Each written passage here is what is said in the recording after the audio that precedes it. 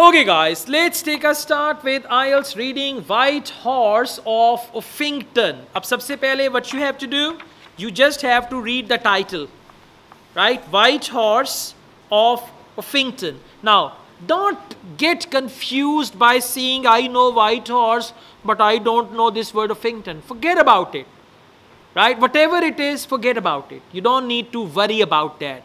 Whenever you see unusual words in IELTS, unfamiliar words in IELTS, very, very lambe lambe words and all that, don't worry about that. You just need to see. They can be the names of the places, right? And the names of the places are like that. Like we have Budwala Chowk, right? We've got Thokar Niaz. Okay, so there can be anything like that, right? Now, White Horse of Uffington. We know it is something about horse and white horse and all that. After that, we go to questions. True, false, not given. And question number one. Now, by the way, whenever in reading you get true, false, not given, questions and the passage will be in the same order. Right? Always questions and passage, and whether you are doing academic reading or general training, it's going to be the same for both. So, question number one most geoglyphs in England. Now, what is geoglyph? Even I don't know. Forget about it. You don't need to know. Just find it as a word. Geoglyph, wherever it is mentioned. Sometimes, or even for the most part, it is not necessary to know the meaning of all the words. With, with little understanding also, you can find the answers. So, most geoglyphs in England are located in a particular area of the country. Now listen, geoglyph is something in England are located in particular area. Now listen, for particular area, they may use the word north of the country. They may use the word south of the country. They may use any name of the area, right? Now, the clue word is geoglyphs. And then you've got to find the location of geoglyphs. So all of you, please come back. First paragraph. In the third line, you will find this word, geoglyphs and all that.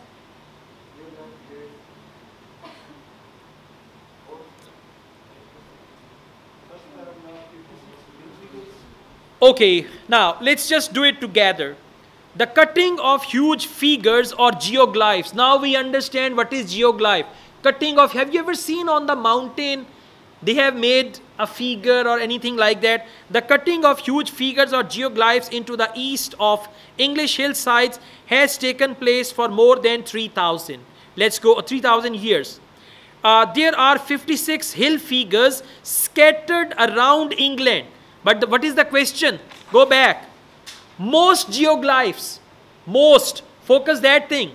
Now they say, uh, okay, three, uh, there are 56 hill figures scattered around England with the vast majority on the chalk downlands of the country's southern counties.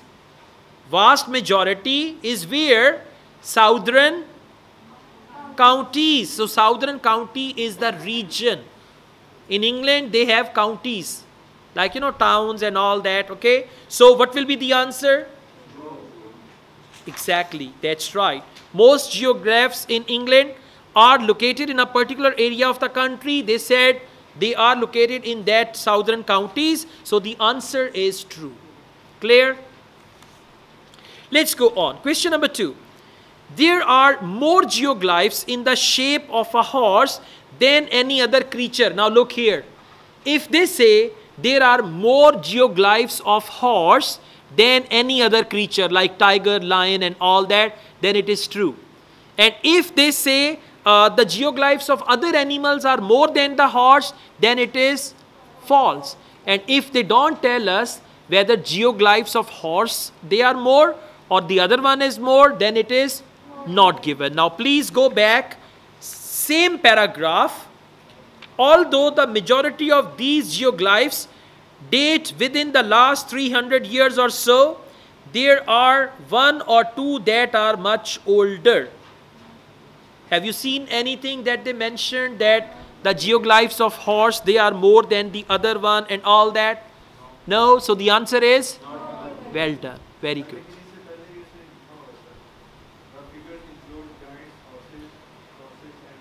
Yeah, but did they mention anything like more geoglyphs in the shape of horse than any other? They did not mention that, right? Question number three. A recent dating of the Uffington White Horse. Now, the clue word is Uffington White Horse.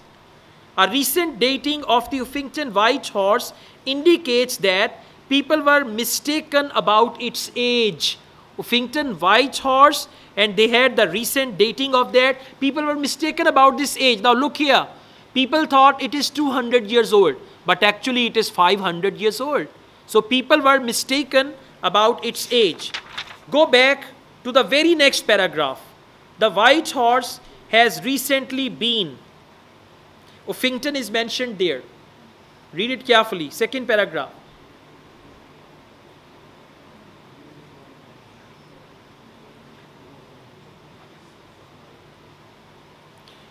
Most famous of these figures is perhaps also the most mysterious. Uffington White Horse in Oxfordshire the white horse has recently been redated. Redated means they changed the date and shown to be even older than its previous assigned ancient pre-Roman Iron uh, Age date. So older than that. Now what's the answer? Exactly. Recent dating of Uffington horse indicates that people were mistaken because the date is actually different. Okay, question number four. Historians have come to an agreement about the origins of the long man of Wilmington. Clue word is long man of Wilmington. And if historians have come on an agreement, if they have come on an agreement, it's true. If they still disagree, it's false. And if they don't tell us whether they agree or disagree, then it is not given. Now just go back same paragraph, historians. While many historians are convinced the figure is prehistoric, others believe it was the work of an artistic monk. Some said this, others believe something else. So that means they don't agree. If they agree, then why will they say some think this and others think like that? So the answer is false. Very good. Samajari, Yeah. Why true? Why false? Why not given? Question number five. Geoglyphs were created by people placing white chalk on the hillside. Now look here. Geoglyphs were created by people placing white chalk. What did people do? They placed white chalk on the hillside. Now listen, if people placed white chalk on the hillside, then it is true if they did not place white chalk, it was already there or something else, then, or they placed something else, then it is false. Otherwise, not given. Now, please come to third paragraph. The method of cutting these huge figures was simply to remove the overlying grass to reveal the gleaming white chalk below. Now, did they place white chalk? White chalk was already there. They only removed the grass and in the hill there was the white chalk. So they did not place any white chalk. White chalk was already there. Hence the answer is false. Exactly. Question number 6 many geoglyphs in england are no longer visible now look here many geoglyphs are no longer visible means ghas lag gaya now people cannot see and all that if many geoglyphs are not visible it's true if many geoglyphs are visible, some are not visible, then false, otherwise not given. So please, let's go back. Same paragraph. Fourth line. Third paragraph, fourth line, read it after full stop.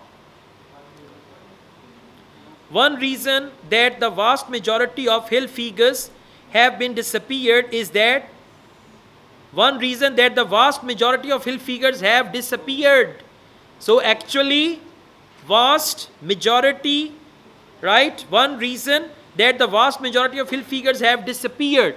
So now what's the question? Many geoglyphs in England are no longer visible. It is true. Are you all clear about it? Good. Let's go on. Question number seven. The shape of some geoglyphs has been altered over time. Now, shape. If the shape has been altered, altered means changed over time. Go back, same paragraph. Furthermore, over time means hundreds of years. Furthermore, same paragraph, hundreds of years, the outline would sometimes change due to people not always cutting in exactly the same place, thus creating a different shape to the original geoglyph. So the answer is true. The shape of some geoglyphs has been altered because people did not cut the same shape. That is true. Question number eight. The fame of the Uffington White Horse is due to its size. Now listen, Uffington White Horse is very famous geoglyph. Now, if it is famous because of its size, true.